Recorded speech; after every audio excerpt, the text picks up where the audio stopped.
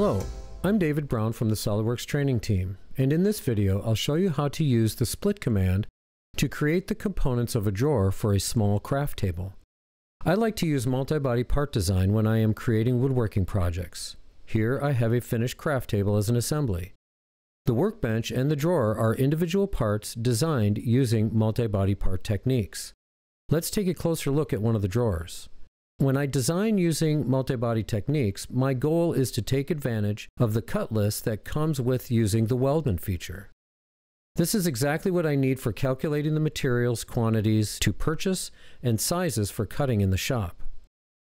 Allow me to show you an easy way to leverage the parametric capabilities of SOLIDWORKS and quickly create the sides and bottom of the drawer using the split command.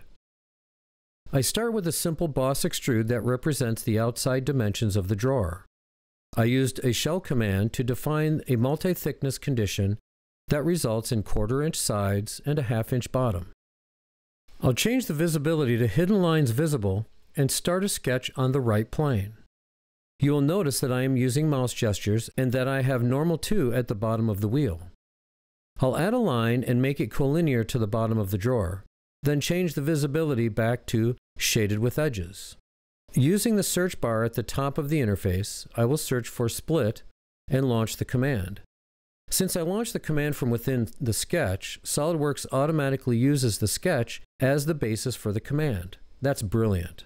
I'll choose Cut Part from the Properties dialog and click OK.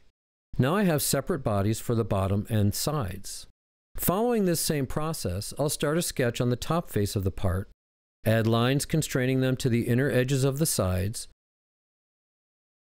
Launch the split command that is still active in the search bar. Define the properties of the command, making sure that I select the body to cut, and voila.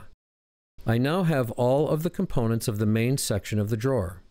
The split command is a powerful way to divide up a body into several components. At this point I have five solid bodies, as you can see when I expand the solid bodies folder. This is nice, but what I am looking for is a cut list. I can accomplish this with the Weldment feature. Currently I do not have my Weldments tools active on the command ribbon.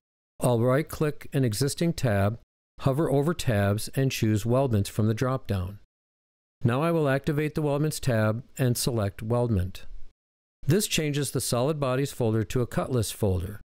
Now I will right click the cut list folder and choose Update Automatically. SOLIDWORKS will analyze the model and group like components together. Thank you for watching this video.